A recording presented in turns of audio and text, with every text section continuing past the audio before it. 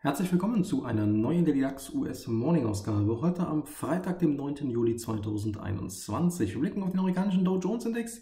Ja, was tut sich? Weiterhin in Summe tatsächlich nicht viel, denn wir sind ja noch immer auf einem recht hohen Niveau unterwegs, pendeln mehr oder weniger. Ja, und äh, was sich hier derzeit ausbildet, das ist noch so ein bisschen die Frage.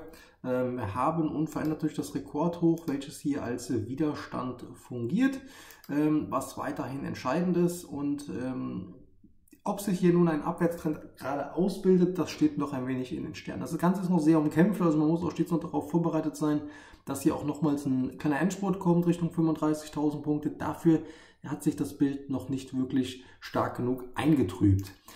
Gleiches gilt auch für den Technologieindex Nasdaq. Natürlich, die Chartlage ist äußerst positiv.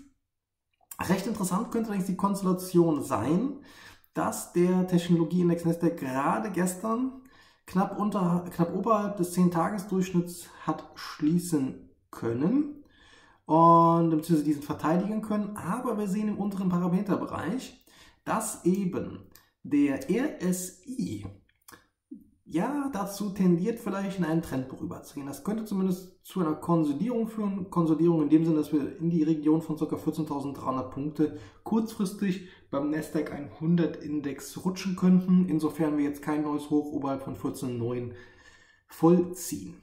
Dann noch ein Blick auf Salesforce. Letztendlich läuft es nach Plan, muss man sagen. Es sollte zum Ausbruch kommen.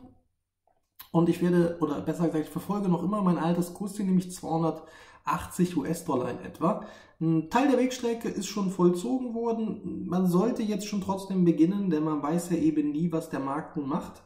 Ähm, die Stops nachzuziehen bzw. allgemein sich abzusichern. Und man sieht nun hier sehr, sehr schön, dass es gleich drei gleitende Durchschnitte gibt und in dieser Zone sollte man sich idealerweise absichern. Wenn der Einzelwert hier nun wieder darunter fallen sollte, könnte es auch dazu führen, dass wir hier nochmals etwas stärker konsolidieren. Deshalb frühzeitig absichern, dann kann man immer noch neu einsteigen, wenn man ausgestoppt werden sollte. Und alternativ, wenn die Stops nicht gerissen werden, ist das Ziel weiterhin 280 US-Dollar. In diesem Sinne, ich wünsche Ihnen jetzt einen erfolgreichen Handelstag.